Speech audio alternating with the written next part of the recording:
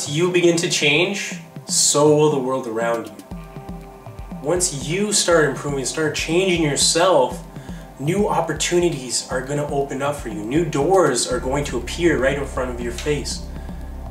But if you stay stuck in your ways, you assume that you're just the best already, you can't get any better, or you don't want to get any better, you don't want to change, you don't want to learn new things, try new things, then you're just going to stay in the same place that you are. You're going to stay on the same team, doing the same things, making the same mistakes.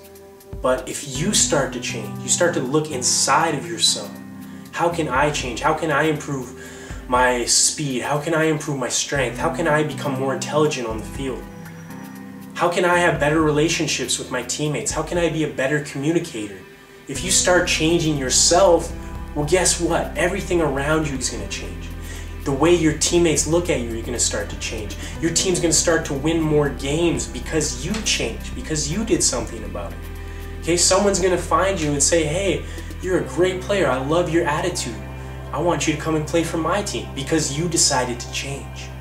So if you're stuck in your ways right now, you're doing the same things, you're making the same mistakes, you're not doing your training any differently, you're not looking for new ideas on how to improve, stop that. Change that. Okay? Change yourself. When you start to change yourself, the world around you will change. Think about that for a second.